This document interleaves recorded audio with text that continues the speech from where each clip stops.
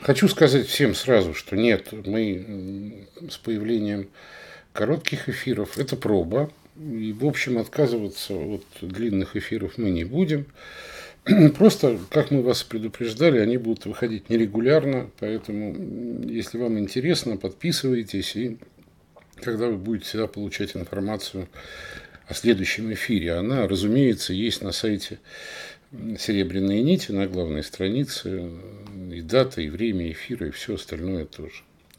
Это первое. Второе, вот несмотря на все эти паузы, э, мое там временное отсутствие, напомню вам, что 19 мая в 15 часов в субботу, если вы не спрячетесь по дачам, то можно будет э, поговорить очно, что всегда, когда я вижу ваши глаза, мне от этого еще больше хочется делать и короткие, и длинные эфиры. А когда я ваших глаз не вижу, мне трудно и плохо. Поэтому я буду рад, если вы отложите дачи и 19 числа придете в Дом журналистов в Москве, на это Никитском бульваре, дом 8А, прямо на углу с Арбатом, место известное. И мы с вами там будем, если хотите, продолжать темы всех последних разговоров. Потому что Древняя Греция – это время, когда появилось то, что мы называем человеческим сознанием в его действии, в том числе и самым современным. Поэтому, э, как это принято в глубинной психологии, для того, чтобы понять себя и научиться собой управлять, нужно начать сначала. А начало лежит где-то там, в античности. И поэтому, к сожалению, я и сегодня э, все равно буду касаться этих тем, и вовсе не потому, что 19 мая мы встречаемся, а потому что мне все время кажется, что в бесовских главах, в 17 и 18, о, которые, о которых мы говорим сегодня, Булгаков, вечный насмешник, вечный ироник, если не издевается, то подшучивает над теми самыми э, античными персонажами, и в первую очередь самыми главными из них, ну, например, Сократом и Платоном. А, я вовсе не шучу и совершенно никак не связано с лекцией. Это мое мнение и ощущение. Впрочем, впрочем, ну, в общем, как-то назвал я этот выпуск «Мастер и Маргарита. Судьба» наверное, вдохновленный пальцами Тюнина, да, которые мы с вами видели на картинках в предыдущих выпусках наших разговоров о мастере и Маргарите. И вот почему э, я это так назвал? Ну, потому что мы давно не возвращались к главному герою романа «Мастер и Маргарита». То бишь к тому, что я назвал главным героем встречу. Потому что, если вы задумаетесь, то легко поймете, что именно встречи, самые разные встречи, в любом случае так или иначе определяют нашу судьбу целиком и полностью. И, кроме всего прочего, главы эти я сейчас про 17 и 18, ну, вообще все бесовские, демонические. А, главы романа выясняют, вызывают, простите, какое-то неизъяснимое к себе притяжение. Их всегда читают с удовольствием, они всегда читаются очень легко, и, а, наверное, это происходит не случайно. Но не ищем же ли мы не ищем ли мы демоническую, бесовскую природу в себе? А ведь ищем, наверное. Вон наш постоянный корреспондент Кубик, она же хочет научиться э, мгновением волшебной палочки получить кучу денег или чего-нибудь еще, или кого-нибудь еще. А э, это же чисто демоническое. колдовство, бесовщина. Вот что действует в этих главах.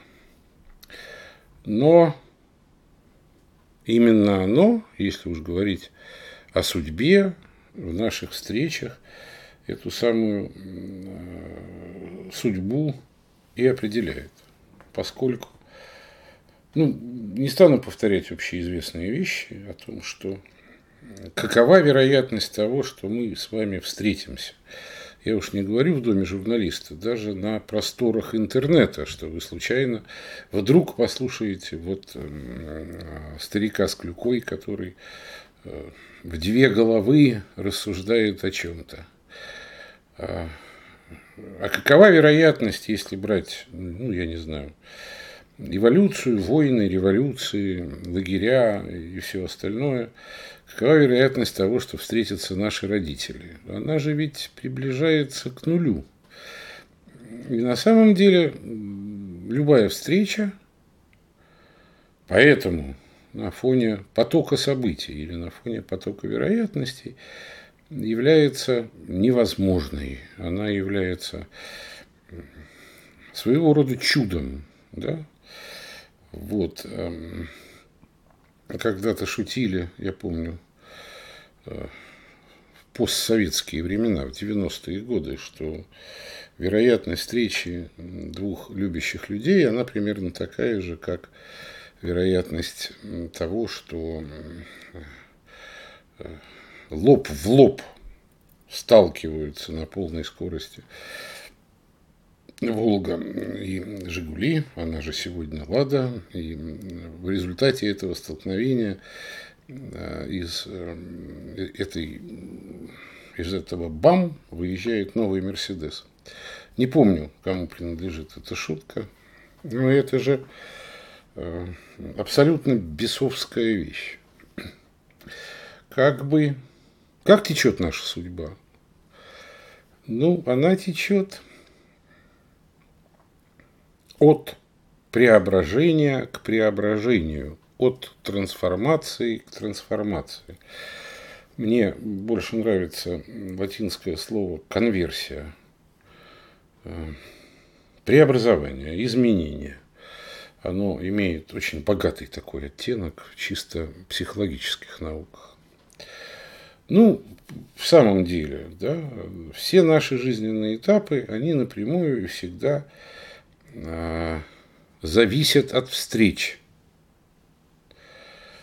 Ну,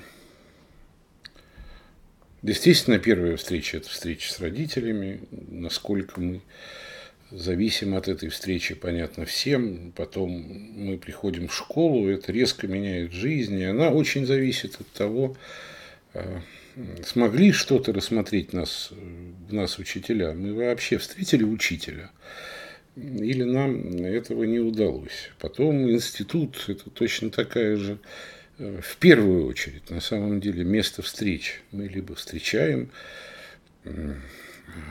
ученик, учителя, преподаватель, ученика, либо этой встречи не происходит. И если этой встречи не происходит, то Грош цена этому институту, потому что это всего лишь бумажка, корочка, диплом а, чего-то, вот этой самой конверсии, этого преобразования, этого обновления или прикосновения к себе подлинному не происходит.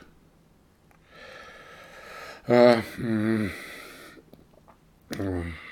ну, я не стану застревать на, на той бесовской теме, что вместе с истреблением талантливых педагогов и в школе, и в высшем образовании э, происходит уход образования. Почему? Ну, потому что не происходит вот тех самых глубоко мистических и почти невозможных встреч – А, разумеется, встречи, которые так или иначе определяют нашу, нашу судьбу, бывают разными. Я сразу могу сказать, например, при чем здесь Сократ? Ну, собственно, Помните, он же говорил, я знаю только то, что ничего не знаю.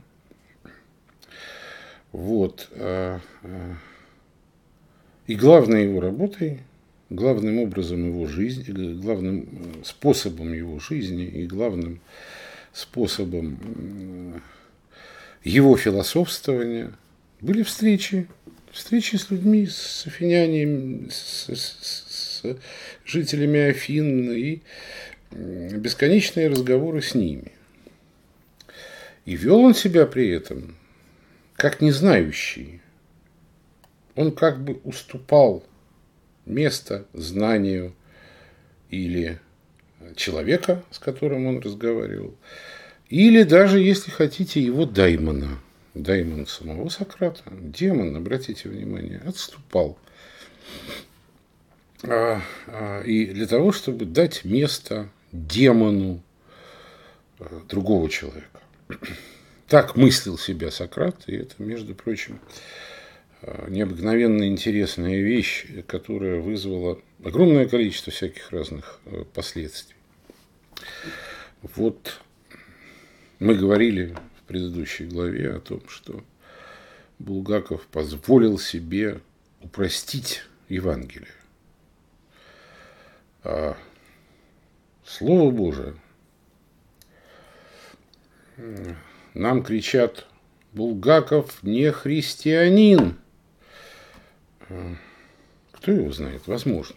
Ну, один из, собственно, основателей экзистенциальной философии, никем не понятый, не, при, не принятый при жизни, страстный поклонник демона Сократа,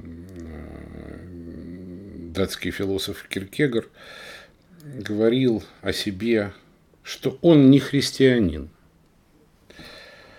А с его точки зрения некоторым абсолютным христианином был только Христос. А быть истинным христианином в его понимании это означало находиться в, в экзистенциальном, это он придумал это слово, сущностном, непрерывном контакте с Богом. Все время ощущать присутствие Христа, находиться в некотором внутреннем диалоге с Ним. А, и поэтому, так как он, Киркегор, этого не мог, он считал, что он не христианин.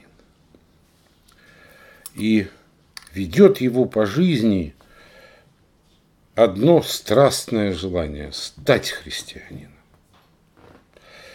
И Сократ говорил о том, что его по жизни ведет только одно страстное желание – стать мудрым, ощутить контакт с тем, что позднее неоплатоники назовут нусом, вселенским умом. А,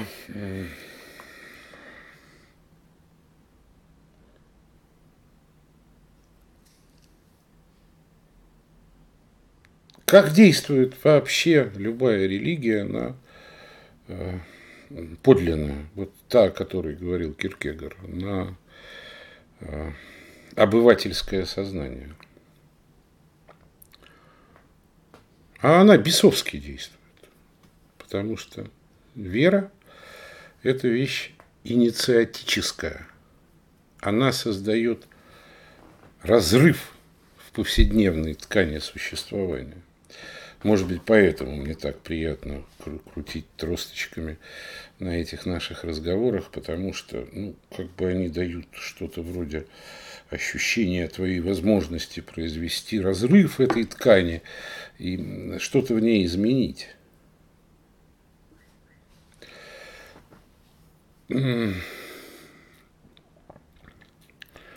Я думаю, что Булгаков был христианином. И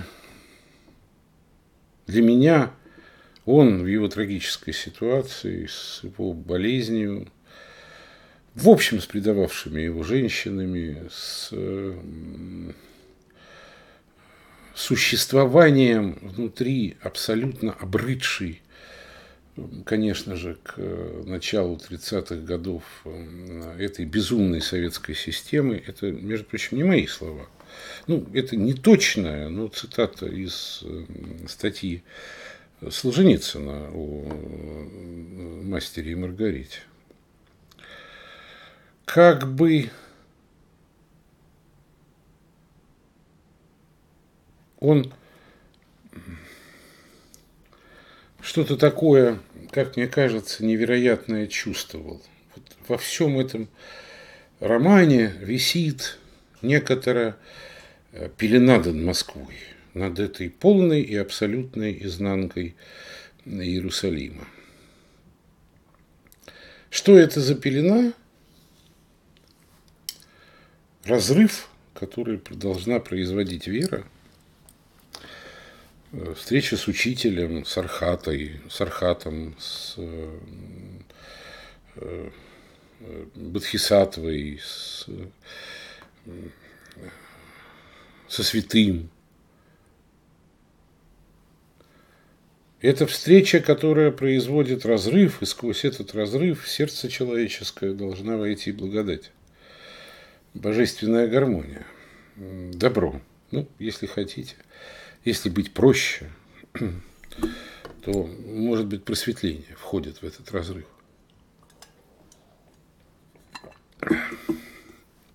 Булгаков хочет сказать, на мой взгляд, по моим ощущениям,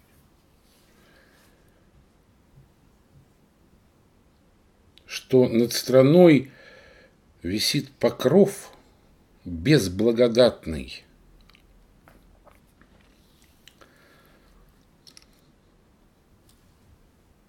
И Ешуа не придет ничего сказать Воланду о мастере, помните же вы конец. Вот пошлет Ливия Матфея. В общем, в общем, все равно догматика.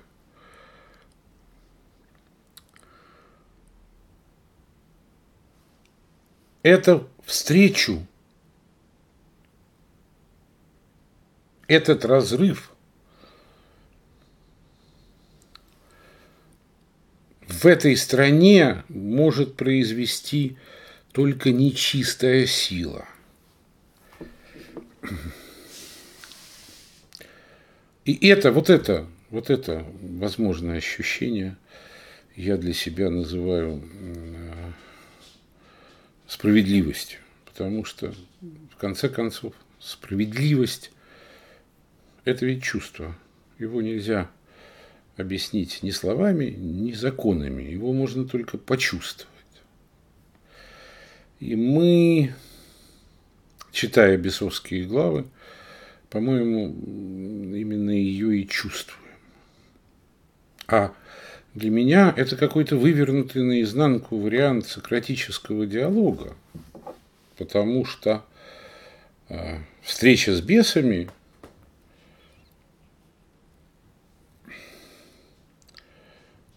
меняет жизнь людей, с которыми э, они встречаются. И даже более того,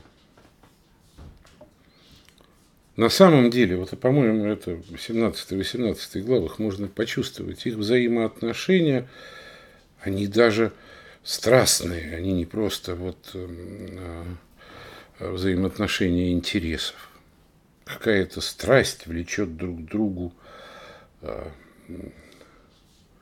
героев и э, Кроева Фагота с Бегемотом или Азазела.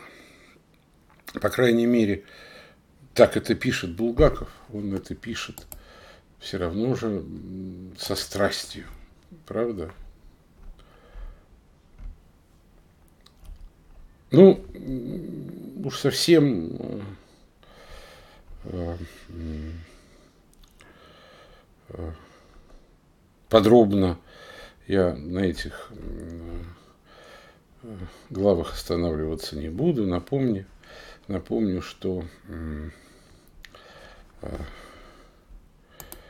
все начинается в появлении это Траугод, картинка.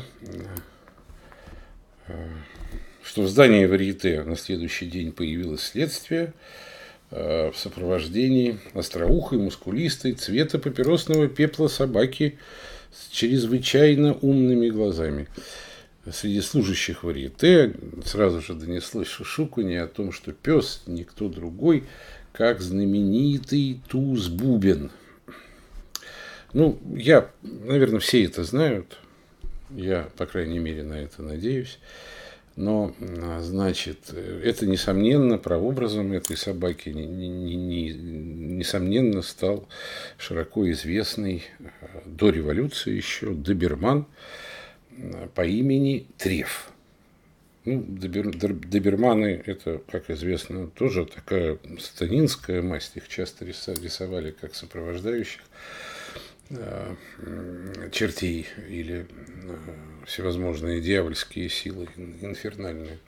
Но интересно то, что э, в архиве Булгакова хранилась вырезка из газеты «Правда» от ноября 1921 года, где рассказывалось о побеге Владимира Ильича Ленина в Финляндию летом 17 года. И э, в заметке этой описывается, что к поискам Ленина были привлечены не только контрразведка и полицейские детективы, но и собаки – в первую очередь знаменитый полицейский пес по кличке Треф. Ну, понятно, тоже карточная масть. Вот, так что я от бабушки ушел, Ленин в смысле, от дедушки ушел, и вот и от Трефа тоже ушел. И э, мне кажется, ну, я так думаю, что, в общем, э, некоторый намек на эту историю в появлении Тузабубна – на, вс... на самом деле, несомненно, содержится. Вот. А, ну и а, уже близко к революции, в десятых годах Треф тренировал такой Владимир Дмитриев, которым был руководителем районной полиции Москвы. Пес раскрыл более 1500, более полутора тысяч уголовных дел, а его хозяин, его вот этот самый Владимир Дмитриев, тренеров, дрессировщик его, был одним из первых казненных на Лубянке людей. Его казнили то ли в 1921, то ли в 1922 году. И значит, это был один из первых исчезнувших при советской власти знаменитых людей. Ну, э, э, что происходит дальше, вы все знаете. Э, да, афиши исчезли. О Воланде, он же Фаланд, маги ровно никто ничего не слышал. И последний, последний не исчезнувший начальник Вриете, бухгалтер, э, поехал в комиссию зрелища и увеселений облегченного типа с докладом о вчерашнем происшествии для того, чтобы сдать кассу.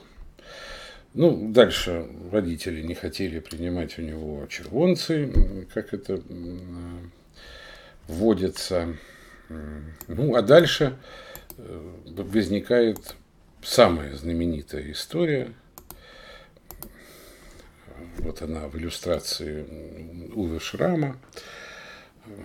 Как всегда, какой-то очень точной и убедительной иллюстрации. Поэтому я вообще очень люблю иллюстрации этого автора к мастеру и Маргарите. А, одним словом,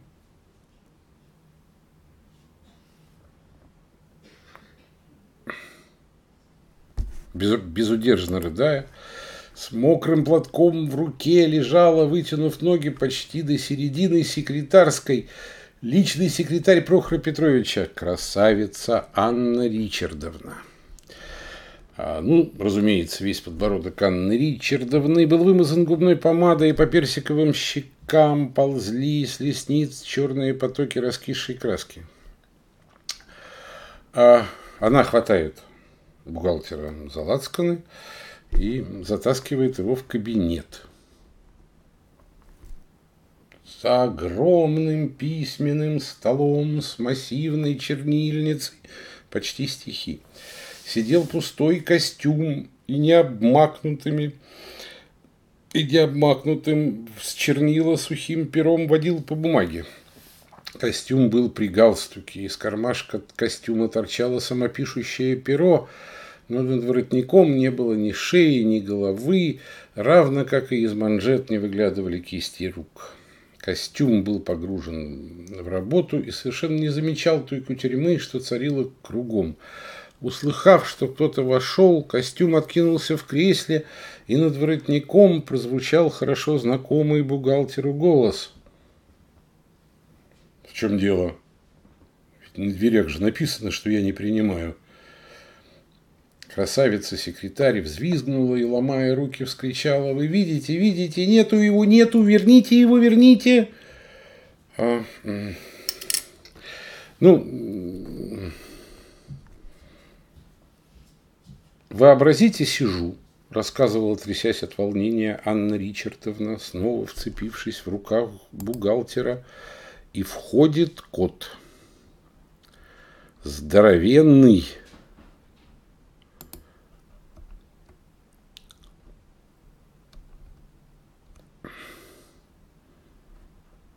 здоровенный.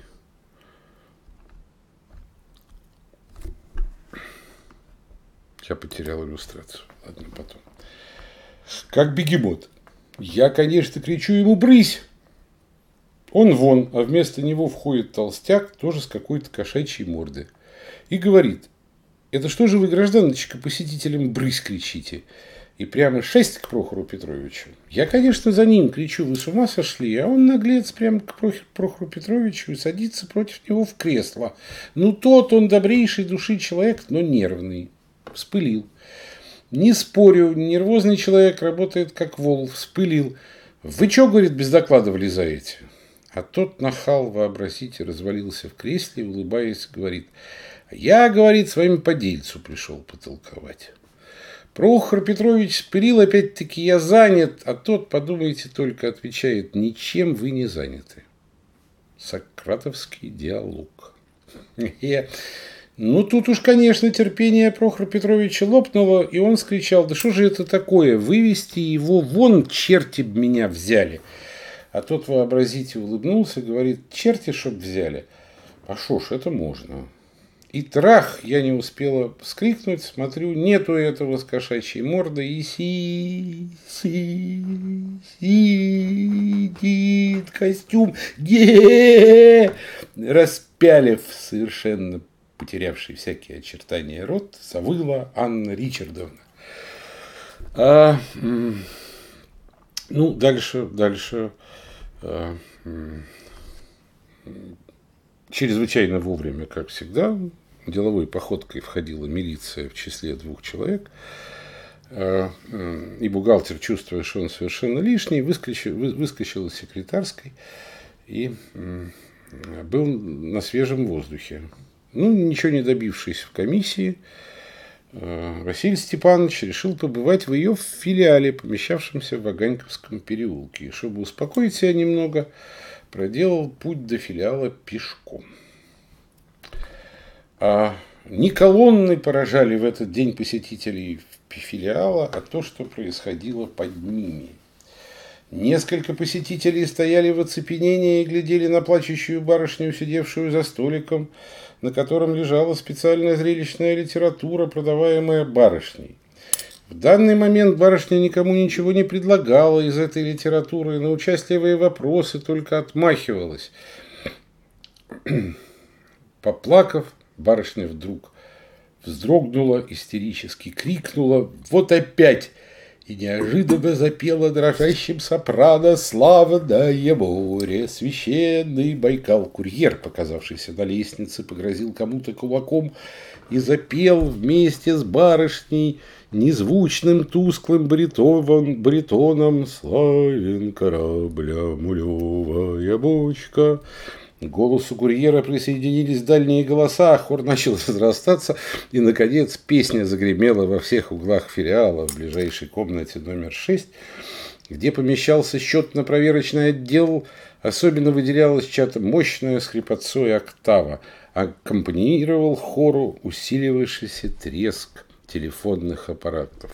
Гм-гм, Баргузин, пошевеливай вал, орал курьер на лестнице. Слезы текли по лицу девицы. Она пыталась стиснуть зубы, но рот ее не раскрывался сам собою, и она пела на октаву выше курьера.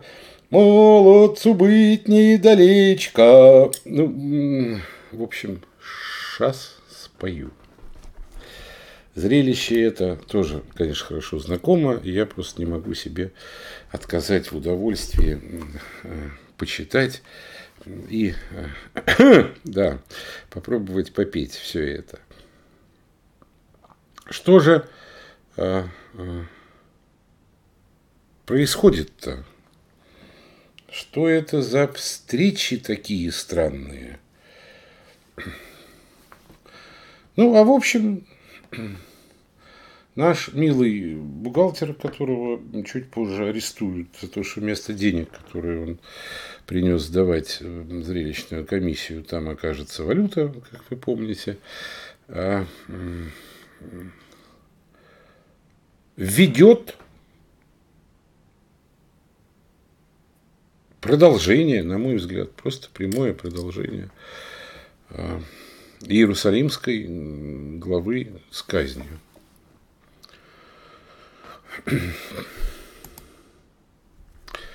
А, особенно Виктор Ефименко потряс как бы этот костюм, причем иллюстрации эти нарисовались с начала 70-х годов, это очень давняя иллюстрация. Чувства по отношению к роману, конечно, у нас тогда были какие-то совершенно иные. И мы очень хорошо понимали, что такое костюм, и что черт возьми, происходит с Пилатом, потому что встречи эти раскрывали человеку его вот эту самую подлинную, безблагодатную суть. Собственно, я даже не, не стал сегодня привлекать иллюстрации Ботвинова, которые как бы тесно спаяны с современностью. По одной простой причине. Это, по-моему, очевидно. Пилат до того, как он полюбил, давайте называть вещи своими именами, Иешуа Ганоцри, был олицетворением справедливости, закона, олицетворением, костюмом идеальной власти императора Тиберия. Вы не замечаете, не замечали никогда, как менялись и исчезали ваши друзья и приятели? Я вот сегодня слышал рассказ об одном таком армейском близком друге. Когда они получали выгодные звания и должности, вы никогда не замечали, как они превращаются в костюм – Я же не говорил о том, что э, встреча как мистический феномен судьбы должна вести обязательно к каким-то позитивным изменениям человека. Нет, нет, к негативным тоже.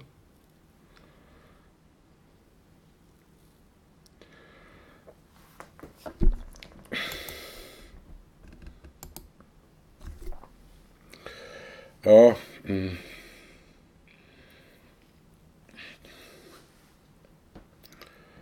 даже не хочется комментировать. Ну вот как-то так. Ты больше не являешься человеком. Ты олицетворение власти. И единственное, что может тебя спасти, это любовь. И нет, нет, нет, вовсе не обязательно к женщине. У Булгакова это совсем не так, на мой взгляд. Это любовь к Сократу, к тем мыслям, которые вы породили вместе.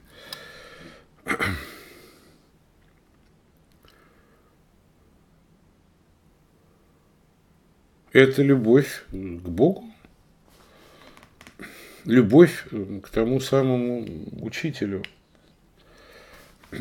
Это совсем другое чувство – у костюма очень своеобразная форма самоотдачи. Это очень болезненная форма.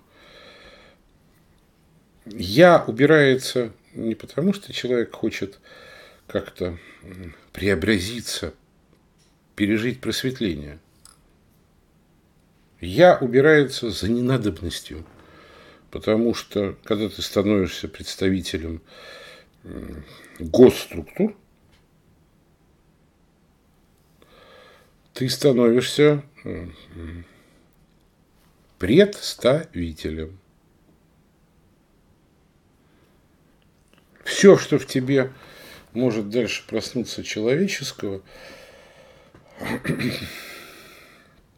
может проснуться только в любви, в той страстной, почти с первого взгляда, когда прошла мигрень. Пилата на Иешуа. И такую же любовь, говорят, э, испытывали очень многие люди, встретившие на своем пути толстого, уродливого, с бородавкой на носу, демона. Демона Сократа, которого казнили менее жестоко, чем казнили Иешуа.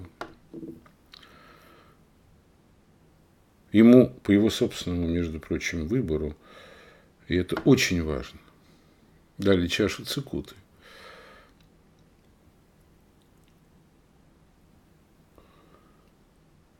Смотрите, какая существует внутренняя связь Сократ остался внутренне верен своему логосу, своему учению, своей философии.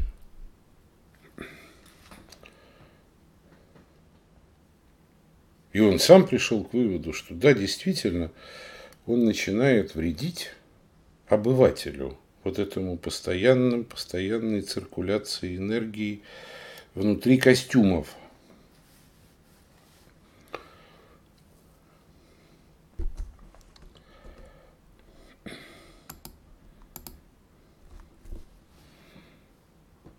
Еще один вариант – это отпущенный на свободу Варраван. Сидит на двух костюмах. Пилата Понтийского, ну и, наверное, того самого функционера жилищно, ой, зрелищной комиссии облег... для зрителей облегченного типа. Облегченного – это, между прочим, кто знает, может быть, и означает без головы.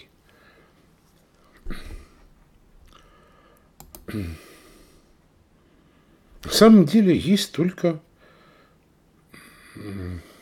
два варианта вот этого победного отупения, оно правда победное.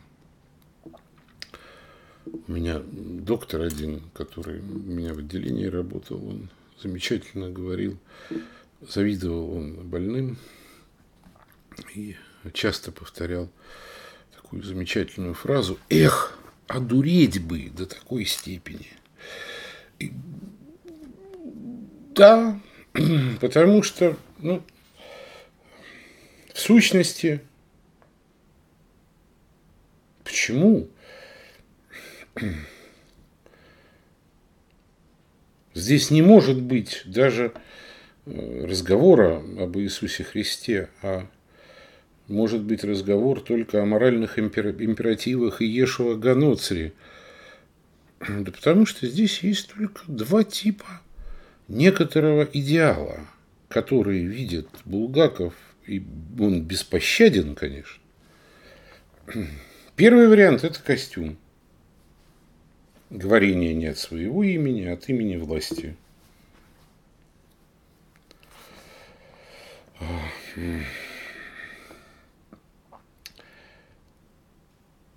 Есть и второй вариант. Какой? Петь хором.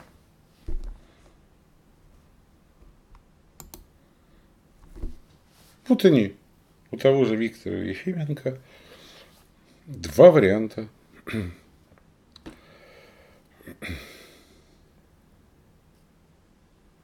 Ты либо лишаешься себя и одеваешь костюм, либо искренне и радостно поешь хором. Периодически, правда, замечаешь, что тебя к этому принуждает, как будто какой-то мелкий бес. Ну, во-первых, э, да, это э, все эти кружки, да, они описаны и в «Золотом теленке» Ильфа и Петрова. И там только вместо костюма, помните, там есть универсальный штемпель. Там, на угрозу мирового империализма ответим поголовной записью в хоровые кружки. Так что это тоже парафраз. Парафраз на знаменитые романы Ильи Ильфа Евгения Петрова. Перекличка некоторая. Здесь, ну, я ее чувствую просто физически, она здесь присутствует. Тем более Булгаков ведь правда надеялся, правда, на своих друзей, на Ильфа и Петрова, что они, обладая связями в гудке, помогут ему опубликовать роман. И они даже, похоже, что-то такое обещали. Чего? В общем, все, как все понимали, было совершенно и абсолютно невозможно. Ну да ладно. А, это Славка Горна, вот видите, Коровьев, дирижер славного хора, который я тут пытался, ничтоже сумняшися, петь. А, какие еще есть варианты-то? Либо ты сливаешься с хором и становишься абсолютно счастливым, либо одеваешь костюм, сливаешься с хором патриотов, например.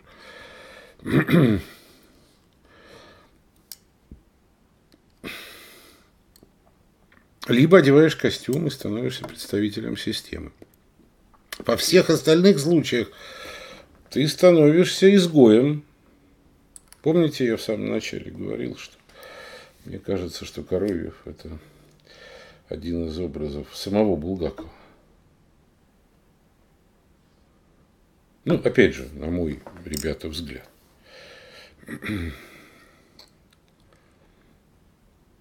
Причем, обратите внимание, до массовой госпитализации в клинику Стравинского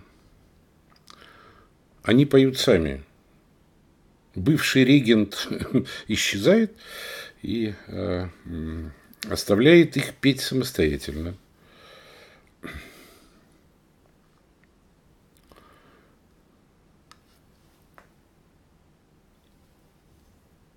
И пели самостоятельно. Вы никогда не обращали внимания на наши песни?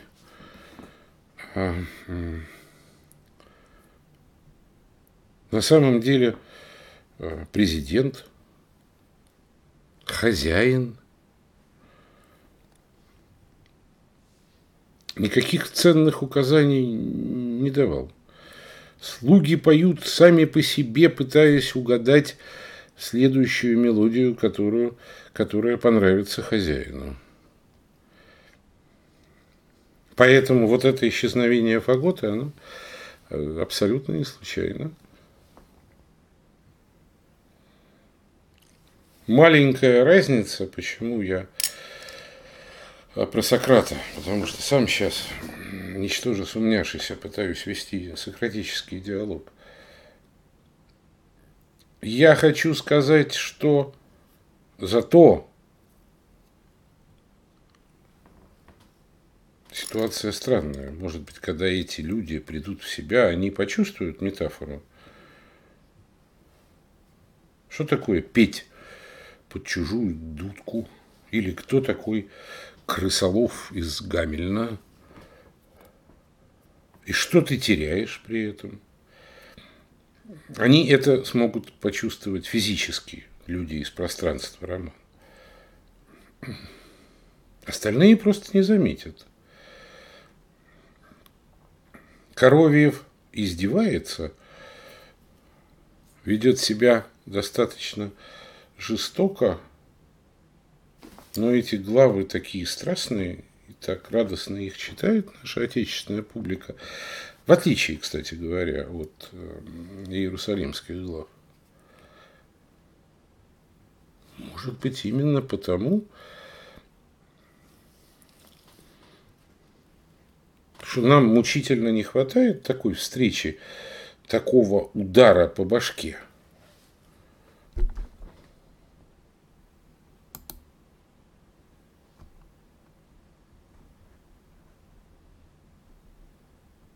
Правда? Ну, дальше еще проще, потому что дальше а, Э,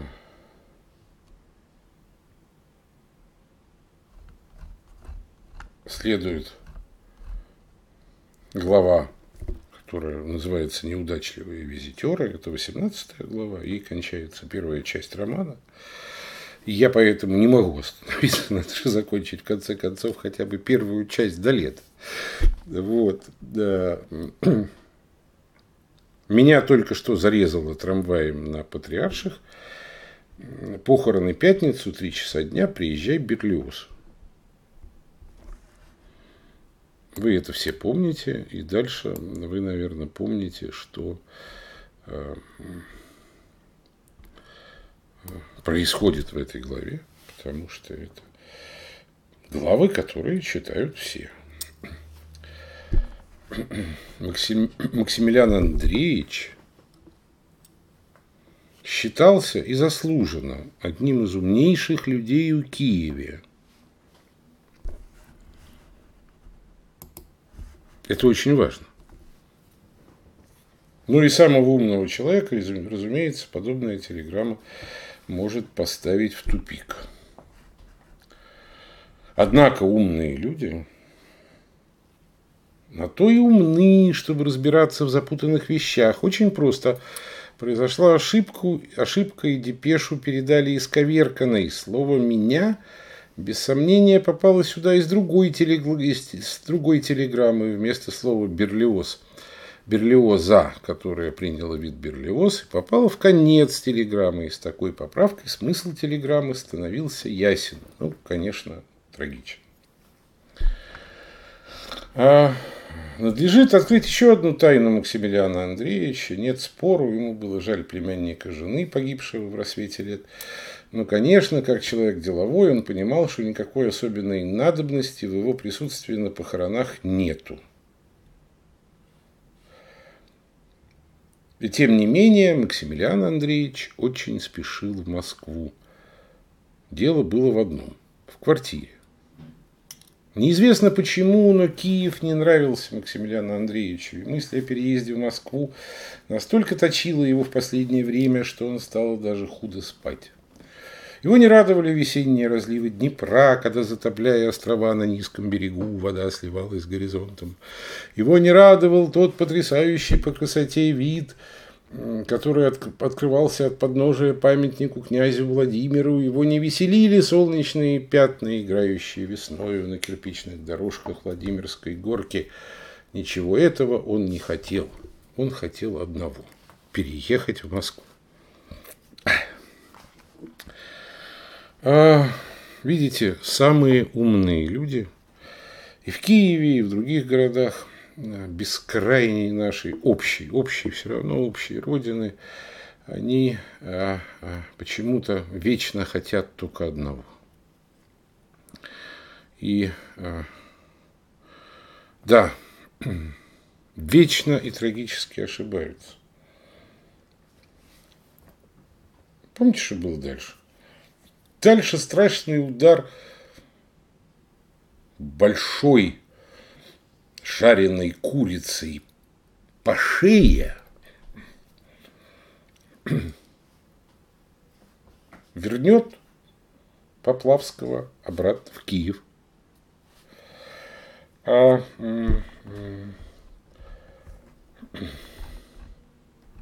я поэтому читаю вот этот кусочек. Что-то он, Поплавский, не понял в этом потрясающем по красоте виде, э, что открывался от подножия памятника князю Владимиру. Не Владимирскую горку,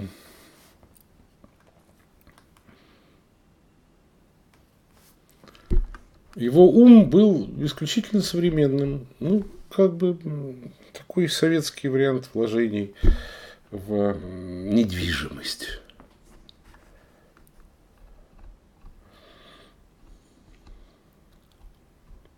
Никто не знает, когда на нас подействует и чем.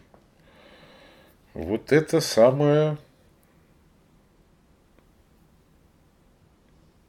разрывающая сила, сила разрыва. Или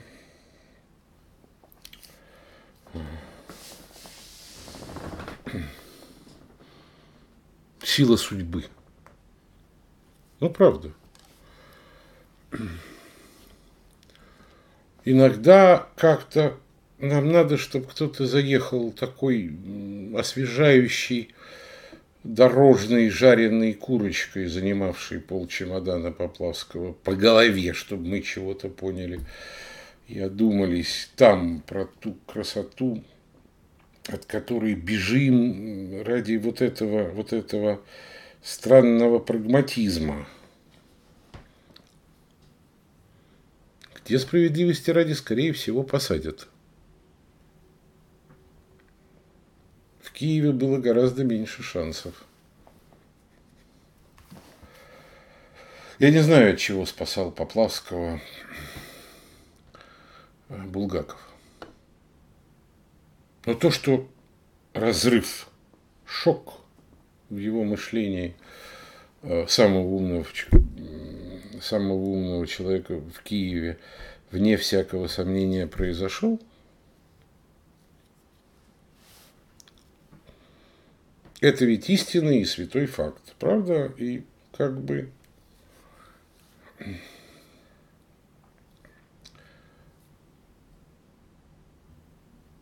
что для меня тут необыкновенно важно?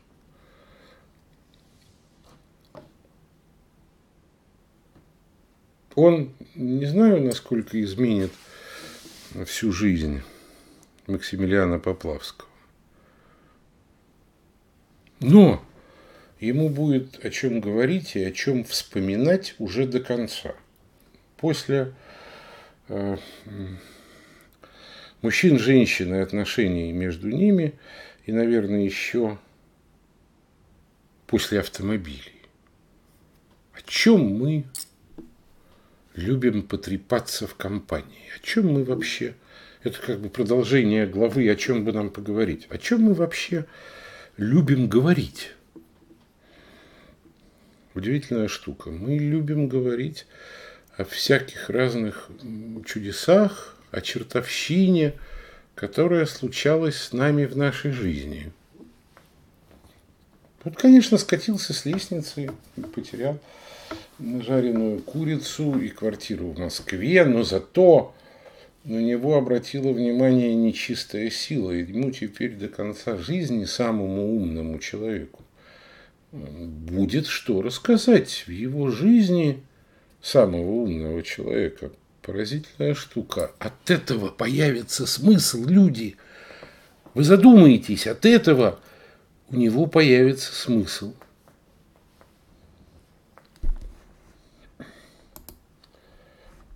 Я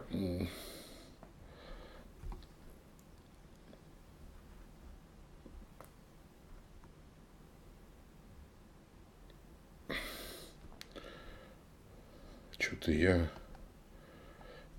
Вот, помните, как это Евгений Штыров? Это кот проверяет паспорт господина Поплавского в присутствии Азазела.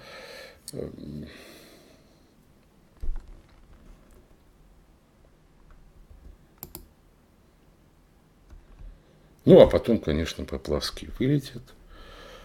А... Mm и увидит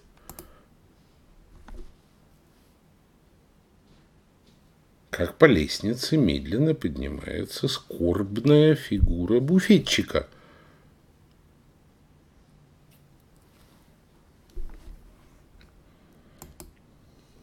Что произойдет дальше?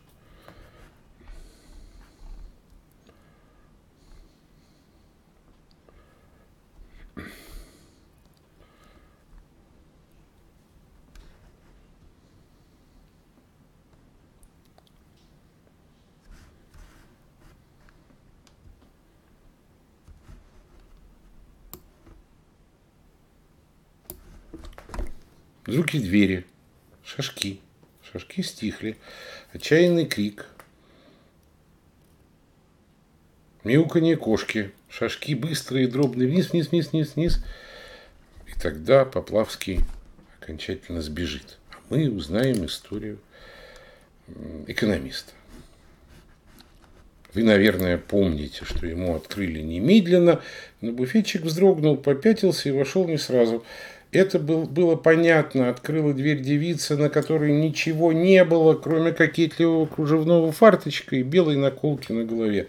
На ногах, впрочем, были золотые туфельки. Сложением девица отличалась безукоризненным. И единственным дефектом в ее внешности можно было считать багровый шрам на шее. «Ну что ж, входите, раз звонили», — сказала девица.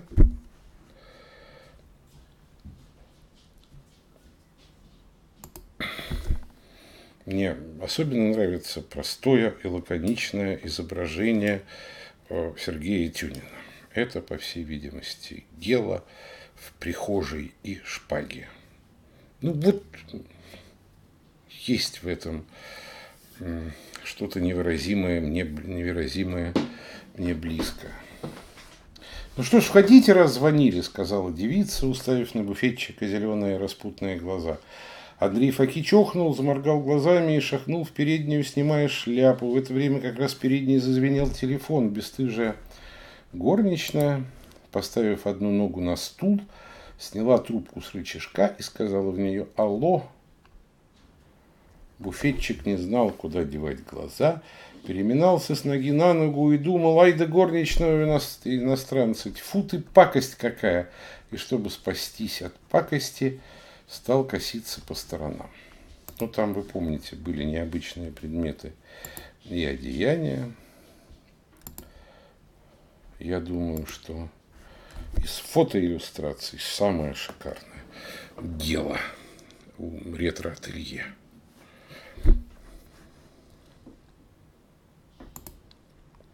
Ну, вообще, конечно же, Гелу рисовали много и с удовольствием, а мне ужасно нравятся немногие сделанные тоже, тоже, кстати, ужасно давно, невероятно элегантные иллюстрации Юрия Смирнова. А уже покойного, и книжки с его иллюстрациями так и не вышло, но э, на самом деле они поразительные, конечно. А, а, вот, рыцарь тут явился маленький человек, которому нужен мессир – Пусть войдет, раздался из кабинета разбитый голос Коровьева. Вот что он увидел с точки зрения Николая Королева целиком. Тоже не могу, просто не могу удержаться. Ну, не могу удержаться. Вдруг кто-то не читал Войдя туда, куда его пригласили, буфетчик даже про свое дело позабыл, до того его поразило убранство комнаты, и сквозь цветные стекла больших окон фантазия бесследно пропавшей ювелирши лился необыкновенный, похожий на церковный свет в старинном громадном камине, несмотря на жаркий весенний день, как сегодня. Пылали дрова. А жарко, между тем, нисколько не было в комнате, и даже наоборот, входящего охватывала какая-то погребная сырость. Перед камином на тигровой шкуре сидел, благодушно жмурясь на огонь черный котища. был стол, при взгляде на который богобоязненный буфетчик вздрогнул. Стол был покрыт церковной парчой. На парчевой скатерти стояло множество бутылок, пузатых, заплесневевших и пыльных. Между бутылками поблескивало блюдо, и сразу было видно, что это блюдо из чистого золота. У камина маленький рыжий с ножом за поясом на длинной стальной шпаге жарил куски мяса, и сок капал в огонь и в дымоход уходил. Пахло не только жареным, но какими-то крепчайшими духами и ладаном, отчего у, буфет, у буфетчика, уже знавшего из газет о гибели Берлиоза и о месте его проживания, мелькнула мысль о том, что не служили ли они чего доброго по Берлиозу церковную панихиду, каковую мысль, впрочем, он тут же отогнал от себя как заведомо нелепую.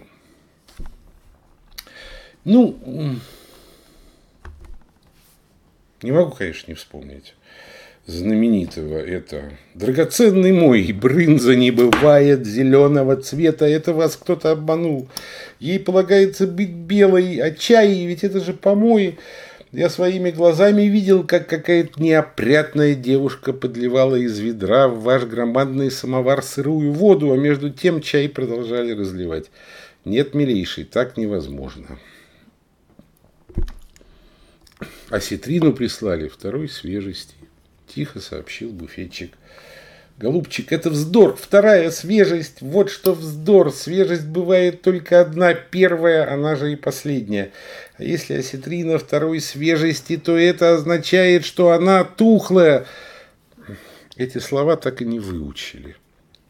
Не выучили их наизусть. И... Э, Все продолжается. Хлеб второй свежести, мясо третий, в общем, но со скидкой. А, такое чувство, что никогда не кончится, наверное, потому нельзя будет никогда до конца прочесть этот роман.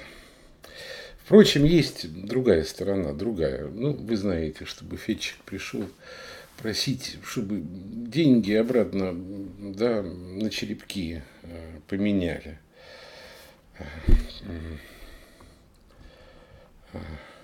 Но самое главное, самое известное, эм, наверное, и самое запоминающееся, страшное в этой главе, это знаменитая история про э, угадывание подноготной тихого маленького буфетчика. А это низко, возмутился Воланд. Вы человек бедный, вы ведь человек бедный. Буфетчик втянул голову в плечи, так что стало видно, что он человек бедный. У вас сколько имеется сбережений? Вопрос был задан участливым тоном, но все-таки вопрос нельзя не признать неделикатным. Буфетчик замялся. 249 тысяч рублей в пяти сберкассах, отозвался из соседней комнаты треснувший голос. И дома под полом 200 золотых десяток. Буфетчик как будто прикипел к своему табурету. «Ну, конечно, это не сумма», – снисходительно сказал Волан своему гостю, «хотя она, собственно, вам не нужна. Вы когда умрете?» Тут уж буфетчик возмутился. «Это никому не известно и никого не касается», – ответил он. «Ну да, неизвестно. Послышался все тот же дрянной голос из кабинета. «Подумаешь, бином Ньютона, умрет он через 9 месяцев в феврале будущего года от рака печени в клинике первого МГУ в четвертой палате». Буфетчик стал желт лицом. «Девять месяцев», – задумчиво считал Волан, – «249 тысяч». Это выходит круглым счетом 27 тысяч в месяц. Маловато, но при скромной жизни хватит. Да еще эти десятки. Десятки реализовать не удастся, ввязался тот же голос, леденя сердце буфетчики. буфетчика. По смерти Андреев и Кича дом немедленно сломают, и десятки будут отправлены в Госбанк. Да я и не советовал бы вам ложиться в клинику, продолжал артист. Какой смысл умирать в палате под стоны и хрипы безнадежных больных? Не лучше ли устроить пир на эти 27 тысяч и, приняв яд, переселиться в другой мир под звуки струн, окруженными хмельными красавицами и лихими друзьями? Буфетчик сидел неподвижно и очень постарел. Темные кольца окружили его глаза, щеки обвисли, и нижняя челюсть отвалилась. Э, ну, дальше там история с Гелой и шляпой. Обратите внимание, что сцена начинается с Гелы. И Гелой же заканчивается.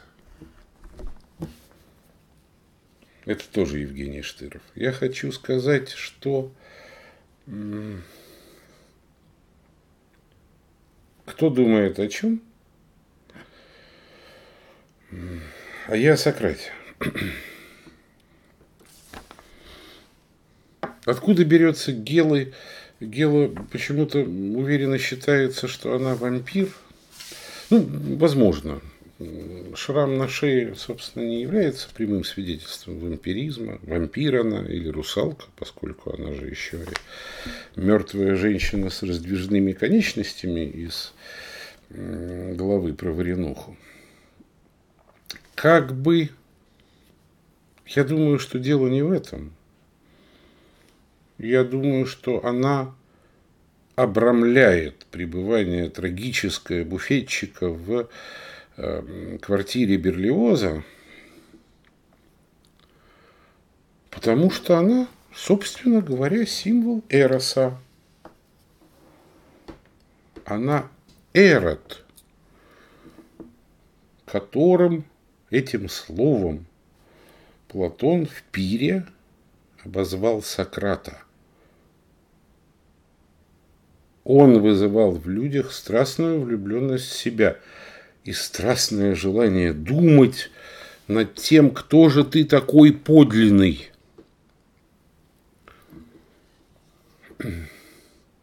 А самых, одним из самых главных приемов сократического диалога. И вот об этом мы точно с вами поговорим, о том, что это такое.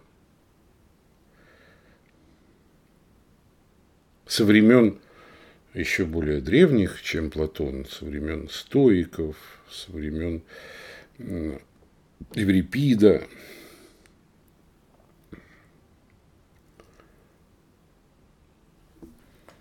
главным приемом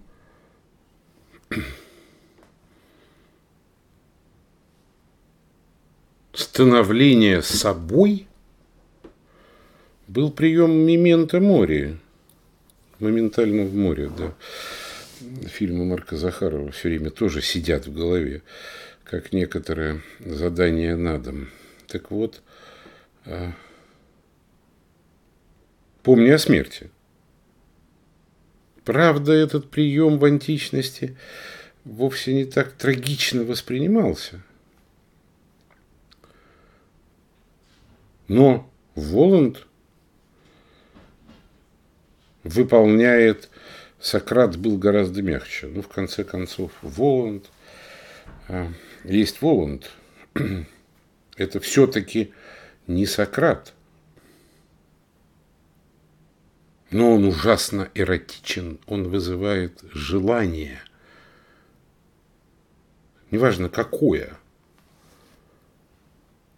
Эрот сам по себе не волшебник, не несет в себе никаких идей, он никаких теорий, никаких составляющих. Его функция – это вызывать желание. И когда эрос гела не вызывает никаких желаний у буфетчика, то Воланд с Коровьевым используют один из древнейших приемов сократического диалога. Посмотри на свою жизнь с точки зрения смерти, и ты увидишь себя совершенно другими глазами. Я буду подробно рассказывать о том, как это делается на занятии 19 мая в Дом жюри в 15.00, напомню. Я просто хочу сказать, что «Помни о смерти» подразумевало вовсе не постоянные размышления о том, как мы с вами сдохнем. помни о смерти подразумевало сделай в этот день что-то для вечности, то есть сделай в этот день что-то, э, что-то, что не будет временным глупостью. Сделай в этот день что-то, как будто этот день последний. Это такая общеизвестная максима. Но на самом деле, кто же над ней сегодня думает? И тут, понимаете, Воланд из развлечения берет молоток сократического диалога, грязь буфетчика со спрятанными золотыми десятками а, и ставит его в положение, в котором он бежит, как вы помните, в конце главы к врачу. И у врача по заразному механизму продолжается тоже какая-то чертовщина, о которой он потом сможет до бесконечности рассказывать коллегам. Там опять червонец превращается в котенка с молоком. Ну, в общем, вы все это читали.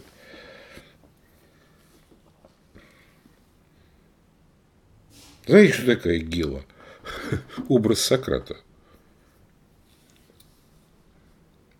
этакого оживителя человеческих душ своим эросом, потому что в диалоге Пир Платона речь как раз и идет о том, что самый большой эрос, который может вызвать мужчина, он может вызвать в диалоге.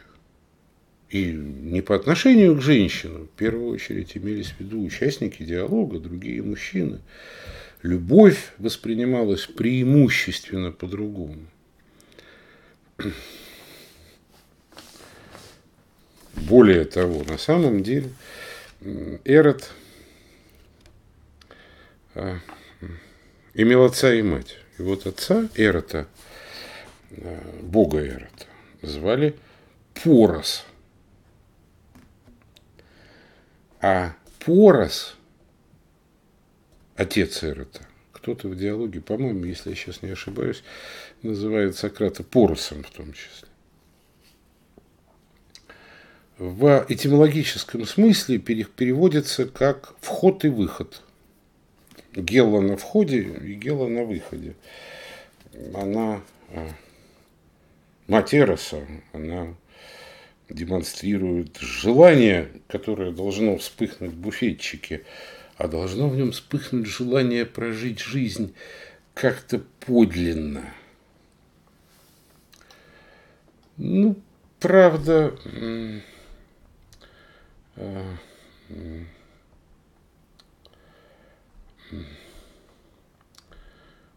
Тут есть нехорошие вещи. Вещи нехорошие,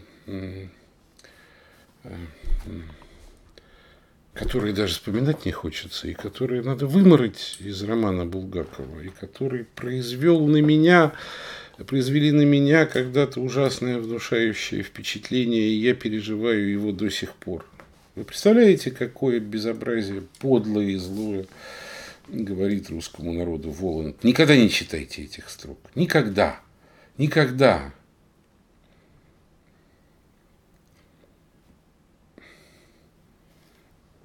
Чашу вина.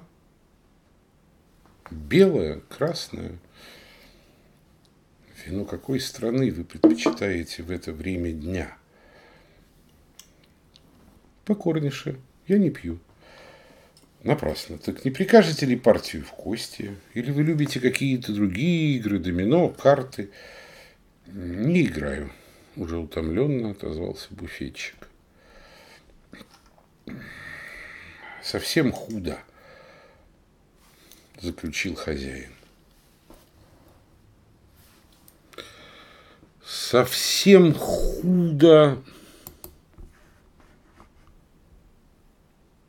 Что-то воля ваша недобрая таится в мужчинах, избегающих вина, игр, общества прелестных женщин, застольные беседы. Такие люди или тяжко больны, или втайне ненавидят окружающих. Правда, возможно исключение. Среди лиц, садившихся со мною за пиршественный стол, попадались иногда удивительные подлецы.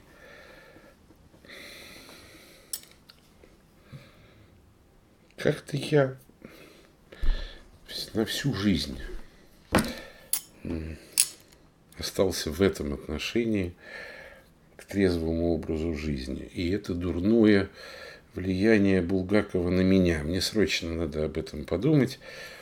Поэтому я прощаюсь с вами. А на этой неделе появятся новые выпуски, новые выпуски э, наших «Как жить», нашего короткого цикла. Э, и э, я тем самым пытаюсь вас отблагодарить за то, что вы слушаете меня уже час 15 минут. Спасибо, что пришли!